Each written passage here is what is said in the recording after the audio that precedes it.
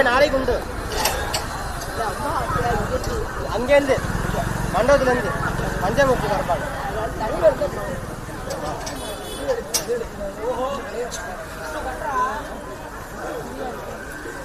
Thank you.